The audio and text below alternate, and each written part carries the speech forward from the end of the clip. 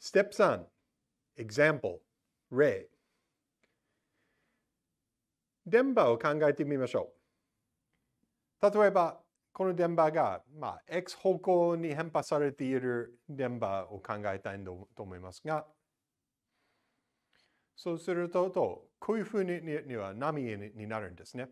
で E イコール E0 で、それがまあ大きさ、アンプリチュードでしょう。かけるサイン kz マイナスオメガ t かけるこの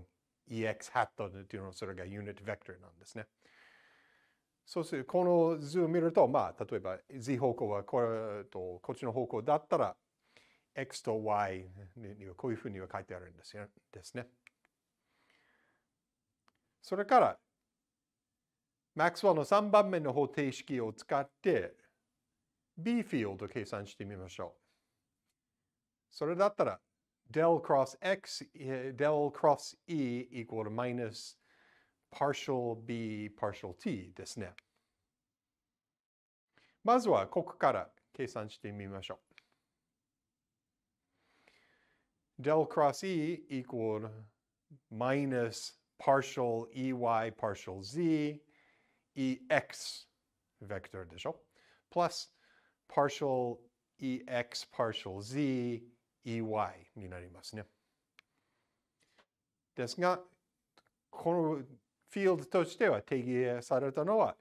x 方向だけには変更されているので、こっちは0になってるんですね。e、y は0なので。そうすると、これイコール ke0 cosine kz マイナスオメガ t ey になるんですね。この最後のテームとして。それから、右側も計算してみましょう。まずは、この partial b partial t equal ke0 cosine kz マイナスオメガ t ey これがさっきの計算したものでしょう。そしてそのマイナスも入れるべきですね。で、これを積分取ると b イコールオメガ分の k e0 sin kx マイナスオメガ t ey なので b イコール c 分の1 e0 sin kz マイナスオメガ t ey そしたらこの B フィールドと E フィールドの大きさががまあ関係なんですけれども B フィールドの大きさが全部 C 分の1になりますね。で B0 が Y 方向にに行ってるんですけれども、まあ、大きさととしては、えっと、かなり小さいですね。そして、まあ、